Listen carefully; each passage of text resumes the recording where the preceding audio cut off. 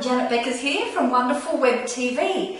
This week I'd like to show you my New Guinea spears and there's a business lesson behind these. So this beautiful set of spears was a gift that was given to my husband and I when we'd done some volunteer work up in the, um, up in the mountains in Papua New Guinea.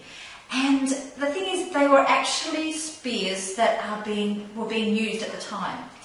Now here's an interesting thing. You'll notice that the ends of the spears are different.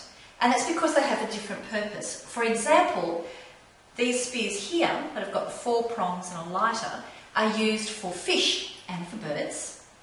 And these other ones that are the bigger ones that are quite barbed and quite strong, they're used for bigger animals like pigs, and apparently humans. so we were told, whether that was true or not. So the, the business lesson from this, I just love these spears. They've got such a beautiful culture and history to them. But the business story for you is if you try to bring down a pig with the spear that is designed for fish, you're not going to get much action there. And the other way around, if you try to catch a bird or a fish with one of those big spears, you're just going to you're just going to really destroy it. So the big lesson here is in using the right tool for solving the right problem.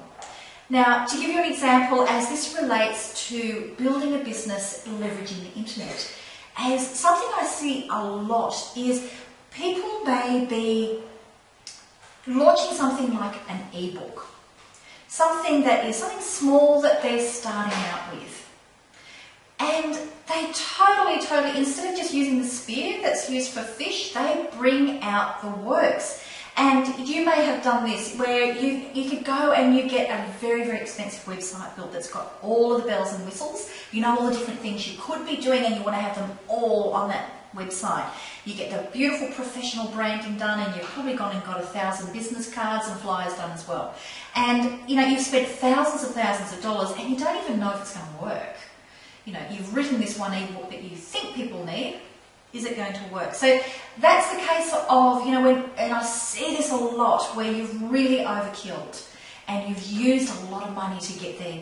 Now, the other side that happens is when I see people who are setting themselves up with a very professional branding business. They are already getting solutions for people offline and now they're wanting to take it online. So they know there's a demand for their business because they're already helping people. They're already getting results for people. They want to be building a professional brand on the internet. But what they do is they destroy it by having really cheap, crummy graphics that they've tried to whipped up themselves. They'll have a website that when you look at it has got homemade written all over it.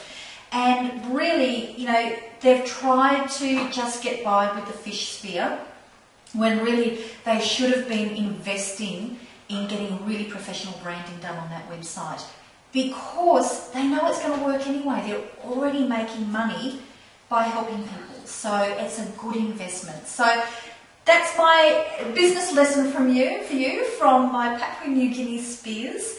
Um, love to hear your ideas. Do you think, um, you know, have you had experience before where you've used the wrong tool for the, for the wrong job?